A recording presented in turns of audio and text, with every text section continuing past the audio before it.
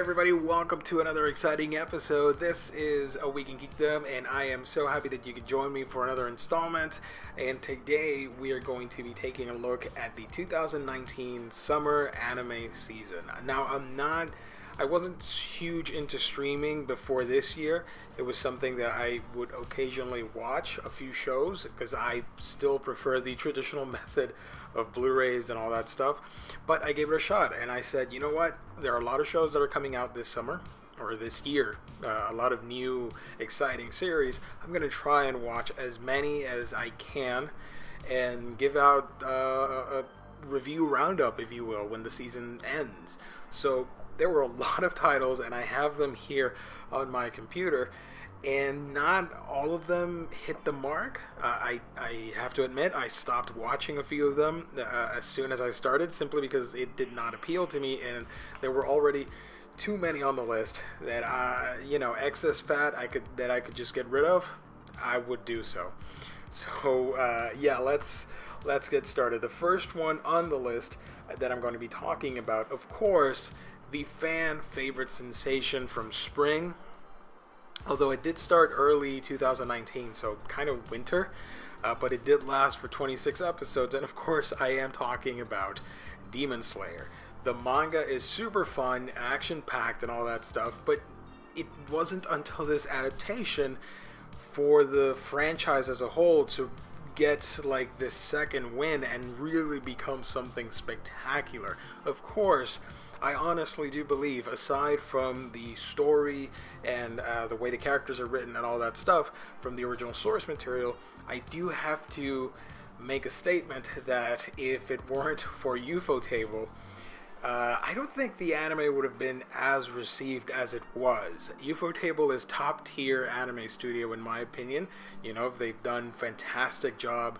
They've done a fantastic job in the past with other titles like the Fate series and all that stuff. They're they're quality quality product. All their shows just have a distinct masterful appearance to them and I and, and a lot of people just caught on and and they were loving it. I loved going to uh, different social media and and reading the reactions from people as the, the, episodes were coming out. The show really did a fantastic job of elevating uh, the original story. That well, yeah, uh, the art may not be to everybody's liking, and it may have a few faults here and there, but the series just takes it to a different level, in my honest opinion.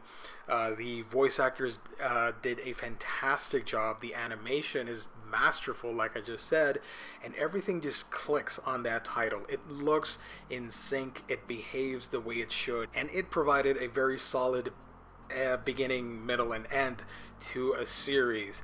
Uh, the finale and the way it ends, it's very awesome. The last few episodes, I'm going to, well, actually, every single mini arc within that first season just had really standout moments.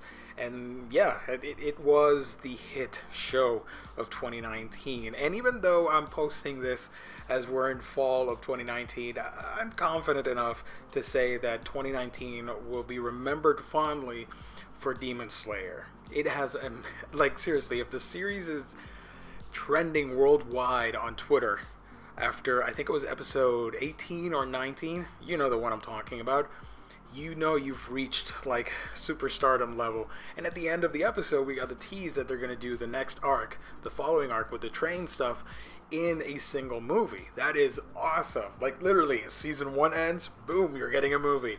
Uh, hopefully, hopefully uh, season two doesn't take too long after the movie. Just saying, because that could happen that we might see a delay. If not, then yay. So yeah, Demon Slayer just fantastic, loved it. Uh, after that, I wanted to mention Doctor Stone. Doctor Stone is fantastic. I love the manga. I am collecting the manga. It is one of my favorite reads. Whenever a new book comes out, I, I cherish the moment because it is such a fun uh, look at a post apocalyptic series with amazing characters, a fun um, exploration of science and survival. uh, you know, it sucks for them, but it's entertaining for us to see how uh, Senku and gang uh, work around the problems at hand and them not having the items necessary to improve their quality of life. So it's very entertaining and, and very awesome. The anime is really well done in my opinion the everything looks really awesome it's very similar to the manga art from boichi but it stands on its own as, as a little bit extra. Like the, it has sort of that um, extra flavor to it. The music, easily one of the best soundtracks of 2019, in my honest opinion. Listen to the music score. I'm not talking about the openings and endings. That's a topic for a whole nother day.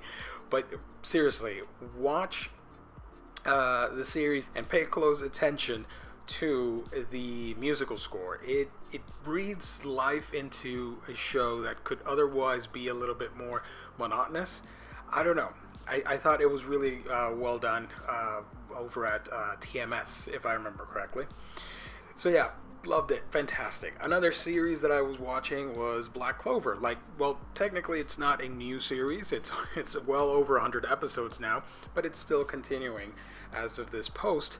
And um, I like it, even though it has animation uh, issues and the way certain episodes are done. Studio Pierrot cutting corners, and, and, and several episodes take a hit with the animation.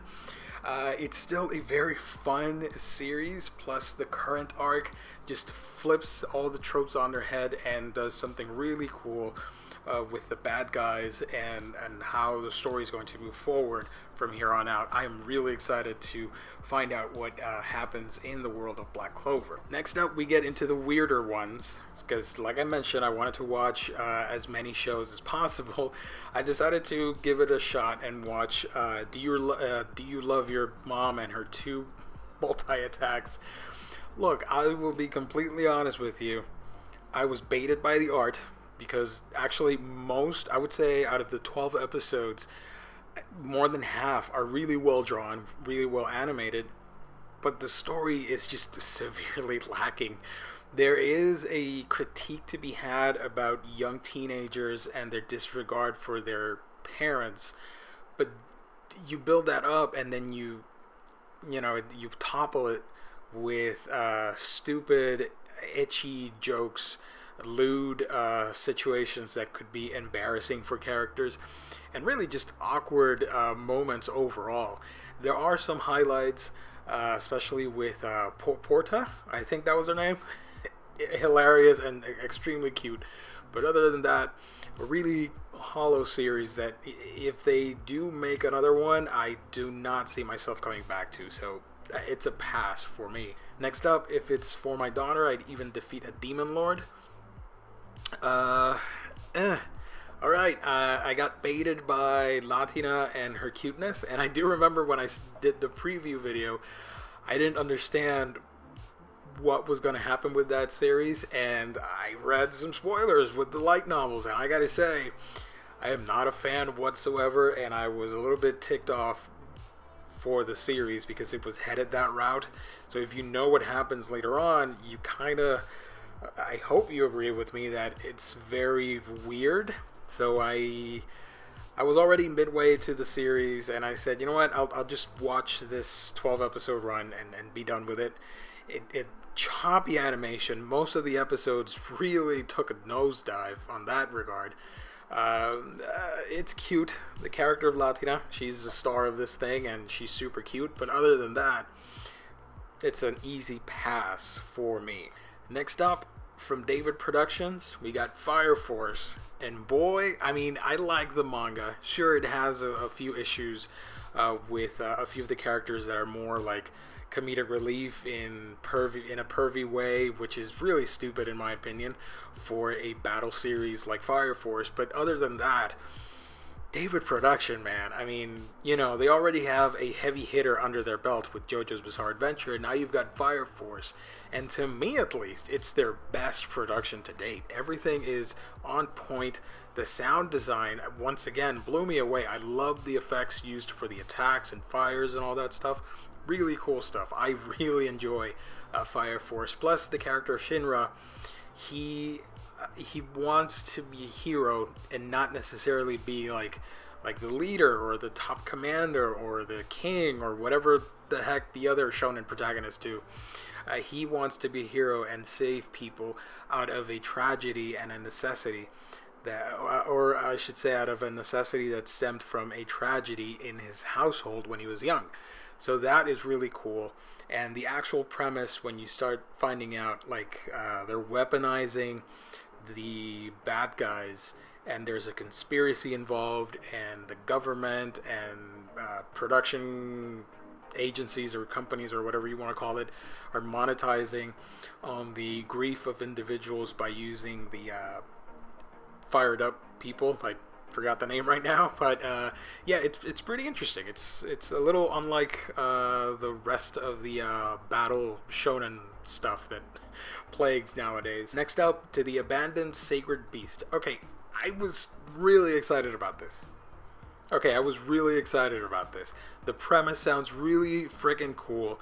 Basically, in sort of like a parallel dimension, instead of the U.S., you got New New Patria, and the North and South they're having the Civil War, and to defeat the South, the North employs sort of like these mutated. Um, characters that can turn into like giant kaiju creatures, and they do win. But eventually, we find out that the uh, thing, the serum that was used or whatever, is making them go crazy, and they turn into like a full-fledged monster, killing everything inside. So they have to put them down. The main protagonist, the captain of the squad, wants to stop this uh, by any means and uh, yeah, the series goes off from there. It's a very interesting premise. I thought it was like a cool action-packed thing. Uh, it's done by Mappa Studios, and I'm a fan of them. One, they did uh, Zombieland Saga, which I love, and they did Dororo, which is one of my favorite shows from recent memory, uh, the uh, Tezuka adaptation. But here it's like they got their uh, B team or C team to animate this thing, and like episode one, fine, serviceable. Episode two, pff, nosedive. Then three and four, eh, it's okay. Then number five, hey, this is actually good. And then six and seven, but it was very inconsistent. And uh, the story is super cliche. You know every story beat and what's going to happen. The one saving grace about this show, I will say, is the character of Nancy. Uh, she is wholesome, funny, cute, and and uh, badass when she uh, learns how to be a badass. Uh, but I really liked her character, and that was I gotta admit that was the only reason I tuned in because I thought her character was pretty interesting compared to all the other uh, monster dudes and dudettes. I don't know. It, it was just serviceable. I hope it comes back because it does end on a cool cliffhanger and uh, there's still more story to adapt from the manga. Next up, Are You Lost? I foolishly claimed on the last video, and I was just joking around, Are You Lost? That's probably going to be a famous hit uh, when this season starts.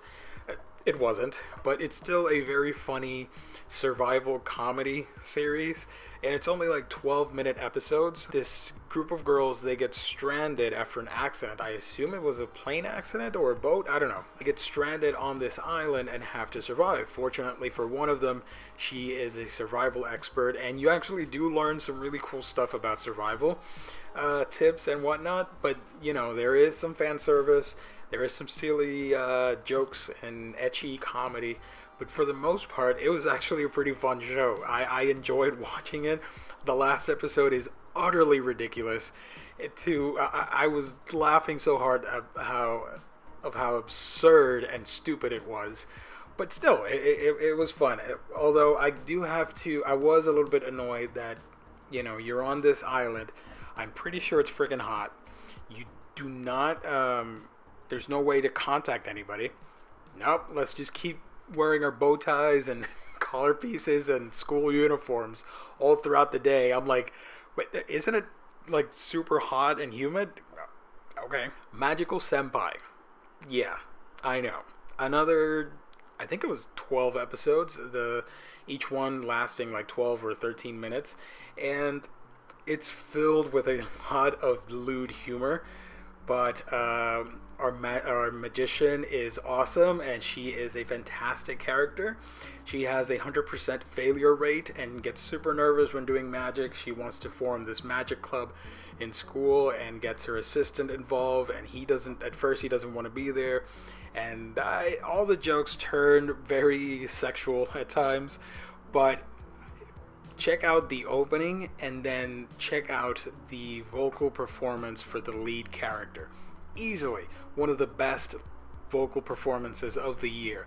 She did an amazing job. It was super funny and and her expressions and reactions to everything that was going on, that's difficult to pull off. So yeah, while the show you might be saying, "Oh, that's trash" or "That's garbage" or whatever pay attention to the vocal performances because I think you'll agree that it was uh, the outstanding portion of that series of Magical Senpai. Next up, something a little bit more serious, wholesome, and pretty fantastically written.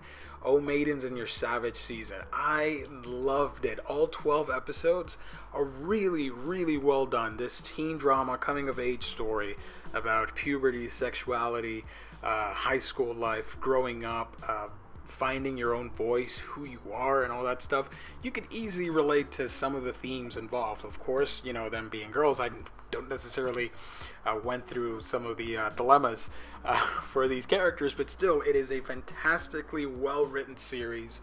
Uh, the, the, animation was solid all the way through. The performances were great, and just um, seeing what these girls were going through and how they involved their club activity with their personal lives, and each character had a very powerful and emotional arc all the way through. It was serious at times, it was funny, it was dramatic, suspenseful. I loved it. I thought it was a standout hit, and I cannot recommend it enough. I was a little bit sad when it ended. I didn't know it was just going to be 12 episodes because it did adapt the whole story, and the manga ended. Uh, ends this month, I think, uh, October 2019. Uh, so I think they got maybe like a heads up on how to end the story based on that final volume. Uh, but yeah, it was a little bit sad to see it go, but it ended pretty damn well, in my honest opinion. I wanted more, but such is life, right? Astra Lost in Space. This was, I, I was really excited simply because of the concept of getting lost in space and trying to survive and all that stuff. I'm like, ooh, yes, please.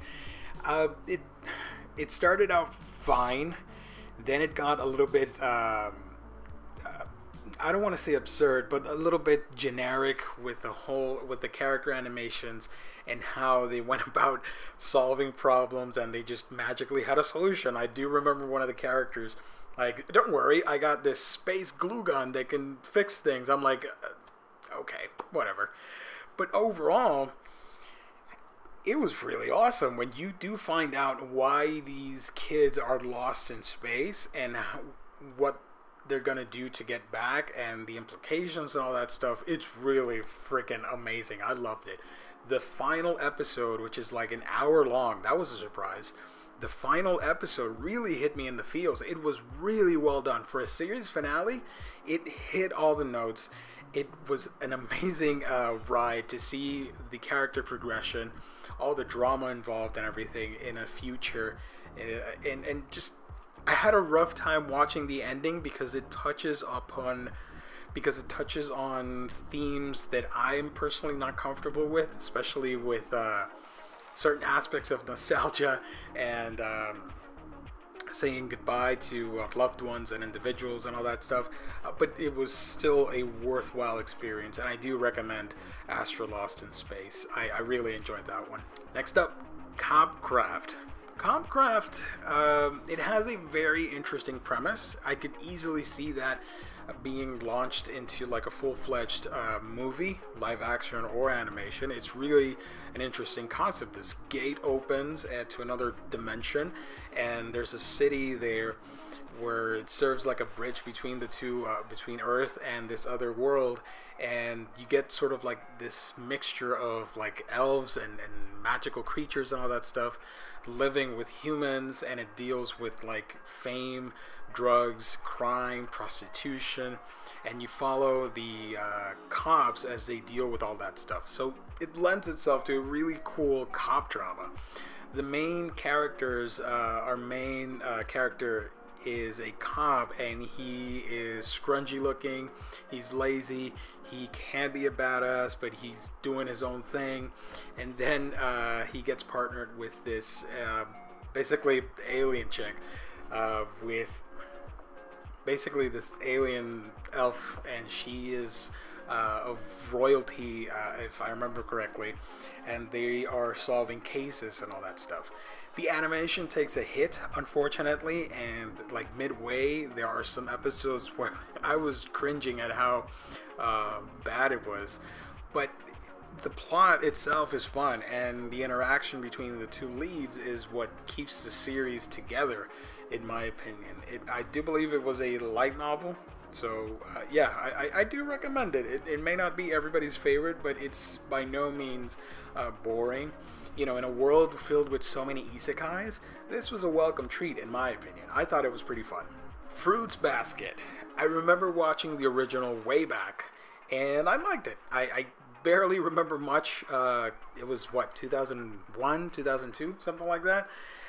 Uh, but this new one, I was hooked by the animation, the difference in style, and all that stuff. And I really appreciated that they went back and are telling like the whole manga, not just a condensed 24 episode series or however episodes, how many episodes that was. Um, I, I, do appreciate that because it gives you a lot more time with these characters to explore all the character interactions and the progression of our main lead and, and, and such. And there are some really heavy feels in this show. Like, I, I was, one, I, I didn't remember much about the old show, so some of those things were brand new to me, and I haven't read the manga. So it was like watching it for the very first time, and I loved it. I'm a huge fan, and I cannot wait for season two to see how the story plays out. But some of the episodes, like I just said, I was not expecting like uh, for them to be so emotional, especially towards the end. I think it was like episode 20 and episode 24, two standouts for me. Really awesome stuff. I loved it. Lord El Melloi. All right, I gotta I gotta be completely honest with you. I'm still not done watching it, but it's fun. I watched a couple episodes, and the animation is pretty solid. It follows the character uh, from uh, Fate Zero, so you're caught up with him as an adult, and you kind of need to watch the older stuff to get the concept and the world that's built around them and the characters to get what is happening on this. It's you can't watch it, but at the same time, it would benefit if you know about the fate uh, world per se in some regard. Vinland Saga.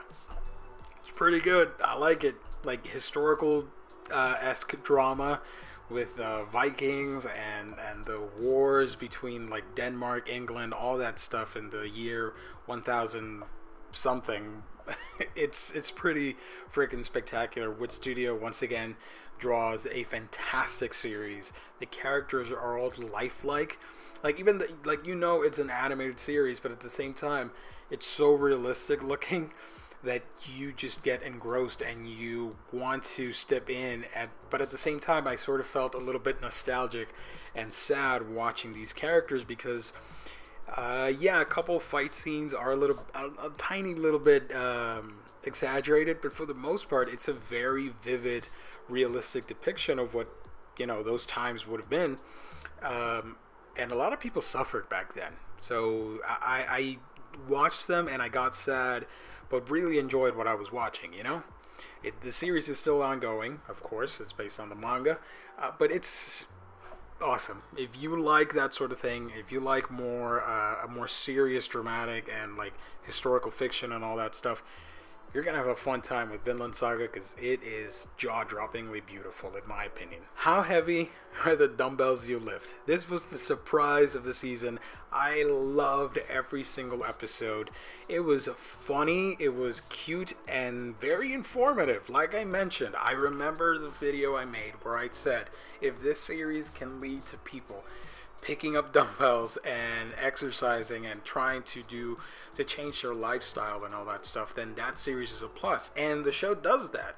They give you exercise lessons, they give you tips on healthy living while presenting a very cute comedic story about these girls trying to get in shape. Of course, uh, Machio San and and and the uh, uh, Gorilla Men and all that stuff. Macho, it, you know, really funny. It's a blast. I, I cannot recommend it enough. If you want to have a fun time and and watching a very pretty looking comedy, give it a shot. I think you'll be surprised at how much fun it is. All right, here are a couple of series. I'm looking at the document right here that I skipped. I watched a few episodes. They simply were not for me. I'm kind of I like the concept of isekai because it's it's escapism in a fun sort of way, but it can cross into like the wish fulfillment thing, you know. So I don't necessarily like all the isekai. I do like some, but not all. I tried Demon Lord Retry, which I thought was not for me. I did not like the first episode whatsoever. I gave another episode a shot, still didn't like it, dropped it. Same with Ari Arifureta, I think that was the name. Not for me at all.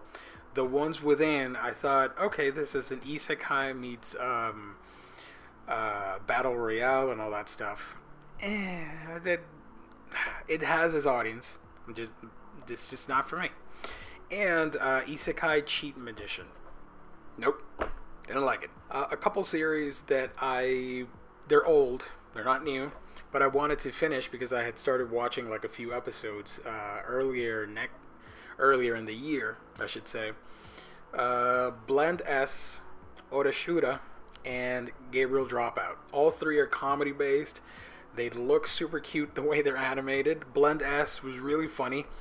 Nothing too impactful, but it was still funny. The whole concept of the uh, cafe with the masochist uh, and the uh, different roles that the girls are playing and all that stuff. That was pretty funny. Uh, I watched it because I kept seeing the memes from that series referencing JoJo's Bizarre Adventure. And I, I uh, yeah, it's standard harem thing, harem series or whatever. Uh, but the concept um, how it starts appealed to me. I thought it was uh, pretty fun, and the jokes were pretty solid. I did enjoy the comedy in that series, especially with the notebook and all that stuff. I thought that was really funny. Plus, the animation was really cute and, and, and well drawn, in my opinion. But the standout was definitely uh, Gabriel Dropout. I loved all throughout uh, the series. All 12 episodes were just hilarious. Satania is my favorite character in that series. She was awesome and it's just really funny. If you haven't tried it, I do recommend it. It was really freaking hilarious to me. I loved it. Uh, so, in a nutshell, I think, yeah, I think I covered everything. That's all. Uh,